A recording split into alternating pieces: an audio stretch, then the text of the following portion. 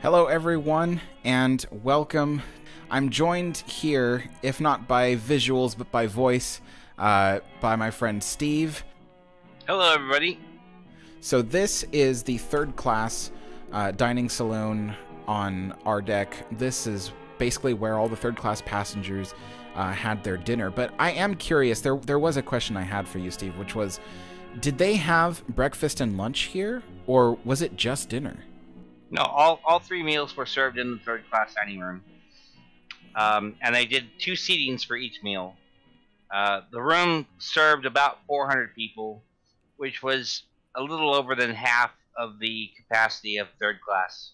So they would have two seatings for each meal. Uh, the um, uh, of course they as the uh, the ship was uh, declining in capacity over in the later years, they probably reduced it to one seating. But uh, in, in the heyday, it definitely was a two seating process. And look what I see here a kosher pantry. yes. That's pretty... most of your most of your uh, Jewish passengers were definitely traveling by third class. Third class dining room. I have a couple pictures here to show everybody as we talk. Okay, so the uh, the upper paneling that you see is a lightly grained sycamore. The uh, the lower paneling that you see is a coral colored mahogany dado, uh, and the chairs themselves were of uh, mahogany themselves. The panels you, you, can see one in the far distance there on the right, uh, in the distance. That was a uh, one of the eight uh, etched glass mirrors that were depicted of sporting scenes they had uh, golfing, fishing, hunting, and those were uh, created by uh, C. Cameron Bailey. And uh, unfortunately, uh, I believe only one exists on board today. Uh, the other seven are unknown uh, in their location. This would be the port side of the dining room, which in the later years was actually devoted to ship's officers and was partitioned off to some degree, and remained that way through through the rest of the war, and then after the war. Uh, this is a pre-war photo here. You can see another one of the uh, the etched glass mirror panels in the background there. It, so part of this this dining room somewhere was used as like uh, officers dining space. You said they they might have sectioned it off after or during the war, and then it would have stayed that way after the war. Correct. Yeah. It, it remained as more of a ship's officers' uh, dining room uh, after the war, and was semi-partitioned off. I'm not exactly sure how it was partitioned. I've never seen photographs of it, but I understood that it was partitioned to some degree, um, and that remained that way until its arrival into Long Beach in '67. Uh, ah, there we go. I like this photograph because it's a nice, it's a nice big, high quality photograph. I can zoom in on it kinda, and you can see more of the, you know, the detail. I like this. Uh, th- th- what what wood was this on the bottom? You said. That's uh, that's uh, coral colored mahogany. Some passengers dining in the third class dining room. I, this was taken. I'm gonna say 50s. You see these these folks here actually look like they're enjoying themselves. You know, a lot of people when they think of third class, thanks to you know stories of Titanic, you'd think that people in third class are just miserable people. you know, like, but on the Queen Mary, third class was a pretty comfortable uh, accommodation. All right. Okay. So. Right. Yeah, if you can zoom into that that area right there, that's wonderful. There's something wrong with this no, no, that that is correct. Oh my. that is correct. oh yes. I was like, this can't be the right deck. It is. So, it, it, to understand how things were working with the Queen Mary and the conversion process, um, Diners Club International became a partner. Uh, uh, they were actually going to be the master lessee of the, of the ship, and they had intended to make R deck uh, completely a uh, a space for conventions, uh, special events, catering, banquets, and that was going to utilize the third class dining room, which we're talking about now, the first class dining room midship, and then the second class dining room towards the stern. Unfortunately, Diners Club International was bought out by another company uh, in 1970. Uh, in stepped uh, specialty restaurants uh, owned by a man named David Tallichet. He owned the Reef restaurant, which is actually still there in, in front of the ship today, uh, right there at, in Long Beach. Uh, he became the master lessee of the ship and completely changed his idea of how the ship was going to operate.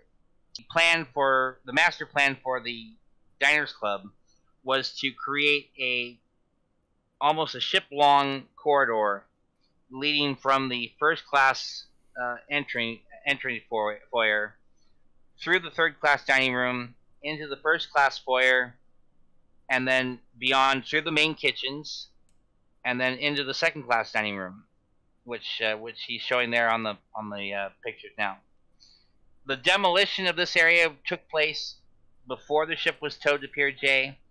The main kitchens were completely gutted prior to the ship arriving at Pier J. It was basically left as a blank slate uh, for the creation of the new kitchens that would be installed at, at a later time. Uh, but the second and third class dining rooms were left pretty much intact, other than the removal of some bulkheads to create that corridor that was going to be on the port side.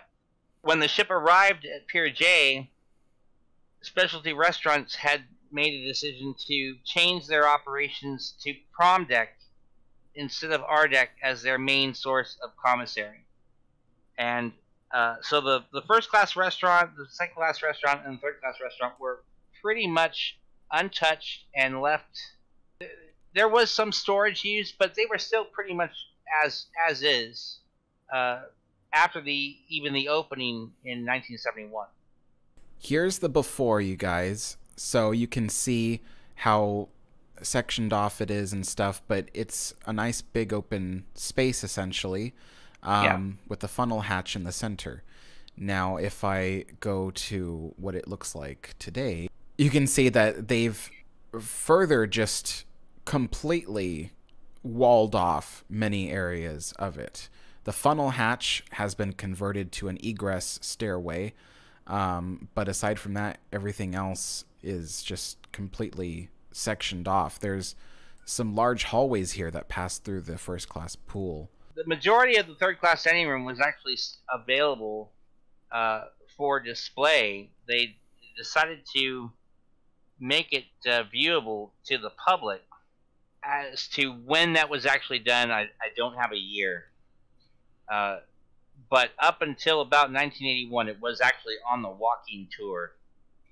Uh, but the port side of the ship, where they had gutted part of the dining room for this corridor, um, was turned into a, hall, a, passageway that leads aft through the uh, first class swimming pool and then into the first class the foyer and which is basically how it's still laid out today. There's uh, a room called the Blue Room. So this is the Blue Room, which is one of the I believe it's the first room on the port side as you go aft uh, from the the third class uh, entryway there. Um, this is it's a little bit neater looking than this when this photo was taken. Uh, but it basically contains all of the original linen drawings from John Brown. Uh, there's also a lot of drawings from uh, the U.S. Navy during World War II. Any modifications that were made to the ship uh, during the war. Uh, this doesn't contain much in the way of Long Beach drawings. This is pretty much original drawings. The Long Beach drawings were kept forward, but basically there is a drawing to every possible thing you could imagine for this ship from toasters to uh, large capacity uh, mixing machines in the main kitchens, light fixtures, electrical schematics, everything that was needed uh, and designed to build the ship. Uh, there's at least two or three copies, if not more, uh, stored in this room. And, and, and, definitely, looking at that picture, it's a lot neater looking now than it, than it was then. So this is starboard side, correct? I'm sorry, there we go. Yeah, the starboard starboard side looking forward. Um, this is this is a picture that was taken uh, a few years back, actually. So the starboard side of the dining room remained as part of the walking tour of the ship and remained pretty much intact. Uh, the light fixtures still had their um, their colored uh, the um, they were a plastic diffuser over the light bulbs. Today you just see the light bulbs there. Um, and that remained until about oh 1982, I believe, uh, when things were changed to where R deck actually started becoming a, an operation. Uh, the first class restaurant was actually now being used uh, for the uh, Sunday brunch. So the, there was a necessity for table storage and chair storage for the uh, for the room, and the first the, the third class dining room area became the table and chair storage for that uh, that use. Unfortunately.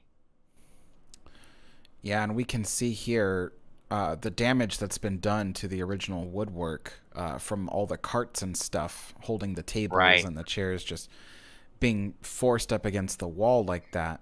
Yeah, and, and unfortunately, you know, it's you know, fixing the barn door after the horses come home. They they have since put up um, a plywood barricade to help protect the wood. Mhm. I don't know what kind of good that's going to do now, since the damage has already been done. Oh, this is looking at that um, the same starboard side, but looking aft. Correct. Okay. And this, I'm sure you can comment about this one. This is the hallway, right, for the ghosts and legends. Right. So yeah, you're looking aft on in the uh, from the third class uh, entryway area. You see some. Uh, you know, I really am not quite sure. This flooring does not match the flooring on the port side, Mm-hmm. and I have wondered uh, where the origination of this flooring came from. I think this was possibly flooring that was done in the early 70s. It, it does not match the flooring of the of the original dining room. One of the uh, this would actually be occupying what was the uh, the uh, Turkish baths of the uh, first class area. We're alongside the uh, the swimming pool here. Oh, really? Oh. So, okay, so basically this hallway here, right? Correct. Or- Correct. Okay. Oh, yeah. And then this would have been where the Turkish baths were. This is uh this is more towards the center area of the of the third class restaurant. You can see they removed the ceiling uh, and the original walls. This, these are new partitioned walls. There is a, a, uh portion of a pantry that still exists. Um, it's it's a dark and hidden portion. uh, I believe it's off in the distance and then off to the right. The uh, the pantry still exists today. It's a very large countertop space, almost looks like a bar. Oh my gosh, these look like original f- fixtures from somewhere. That is a picture from the long gallery. That and the one that's hanging from and up in the distance. Those are light fixtures from the long gallery. If anybody on here has been to the bottom of the third class staircase, it ends uh, well for for regular passenger people today. It ends um, on R deck, and there's some doors with windows, and you can. Uh, well, they're blacked out now, but in the past, you could look through them and you would see this room. It's decorated with artifacts of the Queen Mary. So when when the third class dining room uh, was changed over to become table and chair storage uh, on R deck, uh, a small portion, the center portion of the third class dining room was kept uh, almost pretty much as it was, and it was known for many years as the Pacific Room. It was uh, it was supposed to be used for the sales department for a meeting room, but it was also available for any kind of special event that, that might have needed the room as well.